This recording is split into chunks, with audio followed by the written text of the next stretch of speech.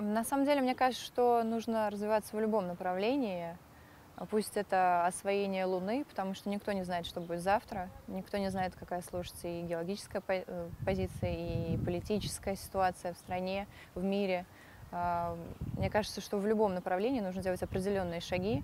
Неважно, пусть это будет не нужно в данный момент, но я уверена, что через там, несколько лет, через, пусть это будет десятки годов, то это обязательно нам понадобится.